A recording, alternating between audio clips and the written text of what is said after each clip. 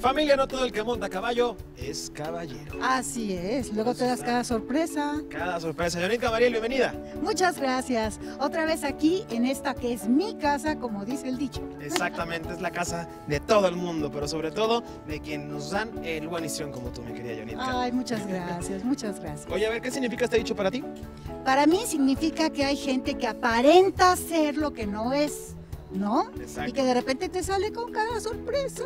Y además entran más dichos que las apariencias engañan, no todo lo que brilla es oro. Exacto. Eh, O e- eso de los lobos también se visten de cordero y esas cosas. Ya lo dijeron, ah, sí, es cierto, toda la razón, ¿eh? ¿Verdad Toda que la- sí? Así es. No, sí, luego te llevas cada sorpresa. A mí me ha pasado y a ustedes no. ¿Verdad que A sí? todo el mundo le ha pasado. ¿Verdad? ¿no? La gente con poder de, de- de querer hacer a la, a la gente suya y luego imagínate, Sí, puede hacer cada cosa. No, en serio, hay que abrir los ojos, de veras, en serio, pasa eso. totalmente. Pero ¿qué consejo le das a la familia para que abran bien los ojitos? Sobre todo los papás. Claro.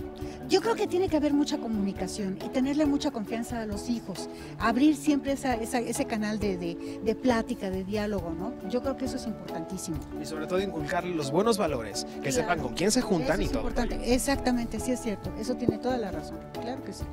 Así es, hay que, hay que, hay que cultivarse. Exacto. Hay que prepararse. De veras, en serio. Prepárense, por favor, familia. Mi querida Yanitka, gracias por estar con nosotros. La verdad es un verdadero placer tenerte siempre. No, a ustedes de veras muchas gracias. Muchas gracias por recibirnos en sus casas, ¿eh? Muchas gracias. Así es que vean como dice el dicho.